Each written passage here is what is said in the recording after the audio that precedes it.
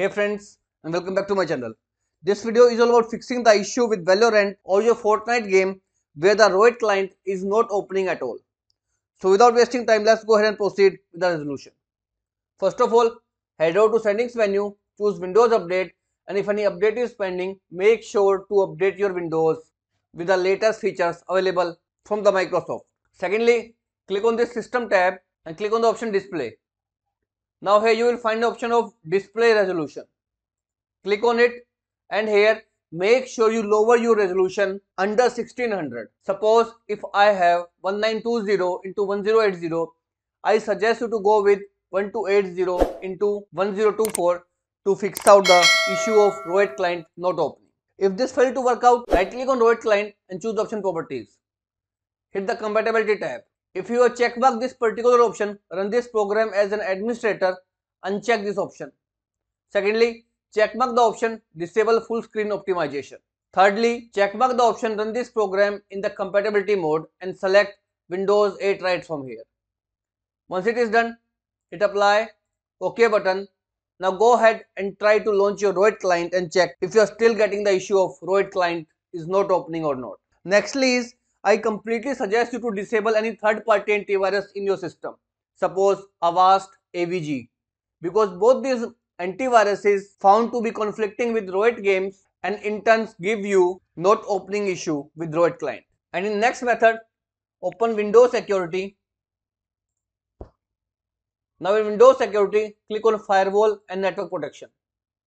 Click on the option Allow an app through Firewall now here click on change settings. From here you need to add three different files in this firewall list by clicking on the option allow another app. Click on the option browse. The first path is C drive, Riot games, Valorant, live and Valorant.exe file. Double click and click on the option add. Second file is again browse, C drive, Riot games, Riot client and here is Riot client services. Double click and click on the option add. And third file is again browse C drive program files Valorant live shooter game binaries win64 and Valorant win shipping. Again double click and click on the option add. I have already added that's why it is showing that it cannot add the same file again. After adding these three files hit the ok button. Now go ahead and launch the Riot client to fix out the issue of Riot client not opening in your Windows PC. If all the method fails, lastly you need to do is to reinstall Riot Vanguard. So for that, first of all, click on this system icon tray and if Riot client or Riot Vanguard, any of the program is available right over here, make sure to right click and choose the option quit to close the Riot Vanguard or Riot client. Nextly, click on the start menu type CMD, run CMD as an administrator now type here sc delete vgc and hit the enter key. Secondly is sc delete vgk and again hit the enter key.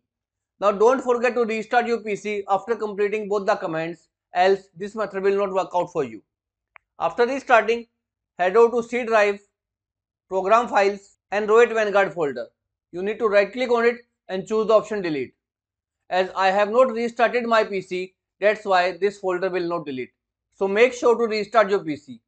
And after restarting your PC, head out to your browser, open the official website of the Valorant and click on the option play free. Go ahead, sign in into your account and download the setup file for the Valorant and then install it in your PC. This will completely fix out the issue of Riot client not opening. So this is all about it friends. If this video works out for you, I request you to please click on the subscribe button and turn on the bell notification icon to continue receiving updates from my channel. Thank you so much friends. Thank you for watching.